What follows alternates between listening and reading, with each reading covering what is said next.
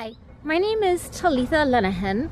I am a writer and reporter for Speak Up magazine.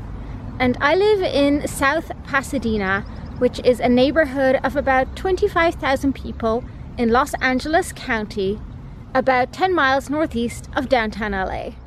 So I'm on the main street in South Pasadena, Fair Oaks Avenue, and yes, there are some cars going up and down, but it's nothing compared to how it normally would be on a regular afternoon. I would say there's about 75% fewer cars on our streets these days, which is um, not a bad thing. This is a typical restaurant now in Los Angeles. As you can see, all of the chairs on top of the tables. Yeah, the restaurant is open. You can go in, you can order food and take it away. And they also deliver in many cases, but you cannot go and sit inside a restaurant anymore. That is something that is of the past for now. So just before the United States started to go into lockdown over the coronavirus, I actually flew across the country. I flew from Los Angeles to Miami, and that was quite an experience. Now, LA is home to one of the busiest airports in the world. However, when I went there, it was virtually empty, virtually no traffic, no crowds, no lines, and the airplane itself was similarly empty, around 75% empty, I would say. Um, so that was very bizarre. I'd never um, experienced travel quite like that before. Um, when I got to Florida, I headed to Key West in the Florida Keys, and almost as soon as I arrived, things began to shut down. Uh, starting with bars and nightclubs, they closed down completely.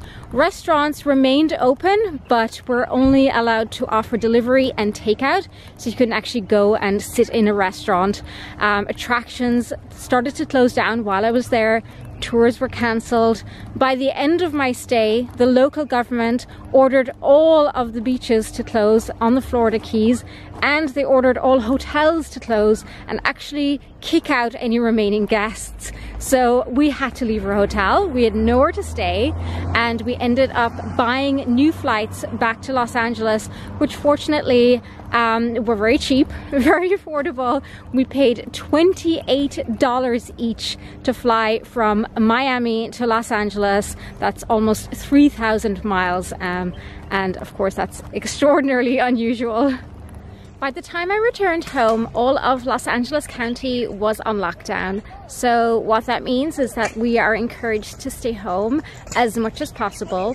We are allowed to go out to go to the grocery store or the pharmacy, to exercise, to take care of a loved one, or of course in the case of an emergency. Um, I'm at Garfield Park, which is very much at the heart of the community here in South Pasadena. So um, the park is still quite busy. Um, there are people out exercising, um, just you know, being in nature, spending time with their families, doing yoga and meditation, while of course maintaining safe social distancing at all times. However, the playground behind me, which would normally be full of children at this time of the day, is closed. Um, because of the coronavirus, all of the libraries in Los Angeles County are closed for now. However, here in South Pasadena, we have little free libraries, which look like this, where people can leave books and magazines for others to come and get. So it's a wonderful service, especially now. Things are definitely becoming more and more restricted as time goes on. Um, so anything really that um, encourages crowds and people to come together um, is being cancelled which is probably for the best.